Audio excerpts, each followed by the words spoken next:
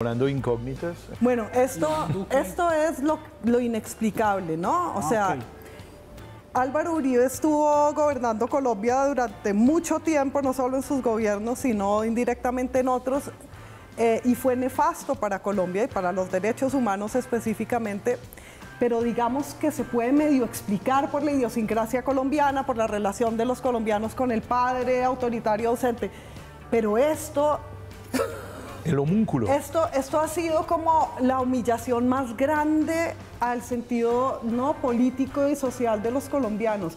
Cómo eligieron a cualquier persona y él mismo, cómo él mismo creyó que podía ser presidente y cómo esa actitud, la de pensar que uno está llamado a hacer cosas para las que no tiene ninguna aptitud, cómo se repite una y otra vez en Colombia. O sea, cómo hay escritores acá que son el escritor más leído de Colombia y que saben íntimamente que están en un lugar que no les corresponde porque no tienen nada que decir. Yo creo que el fenómeno Iván Duque también es el fenómeno Héctor Abad.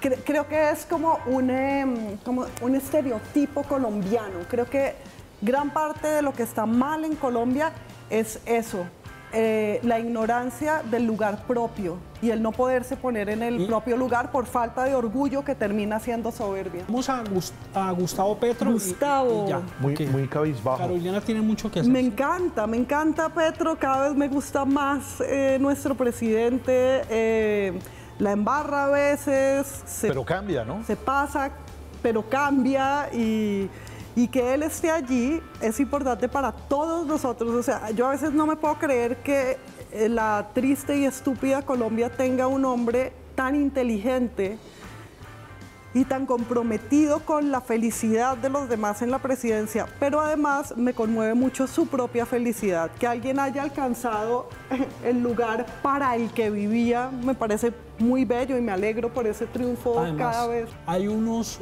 unos socios de, de- de lograr cosas en América, digamos, Sí. con, con Lula, porque es un país tan importante. Sí, Eh, sí, yo creo que eh, el hecho de que haya ganado Lula en Brasil y que sintamos, como dijo Lula mismo en su discurso ayer, que Brasil volvió, que ese país gigante como que volvió a América Latina y volvió a, a- como, como a nuestra vida después de estar secuestrado, no digamos ni siquiera por la derecha, sino por la insensibilidad, ¿no? Es como, como que la derecha es una, se ha vuelto cada vez más en América Latina la insensibilidad con respecto a quienes necesitan y a quienes quieren pensar, pero también hay una, hay una izquierda que es insensible a la crítica, al pensamiento y al cuestionamiento. Entonces tenemos una derecha insensible ante el sentimiento y el sufrimiento y una izquierda a veces insensible hacia la razón. Entonces, ¿no?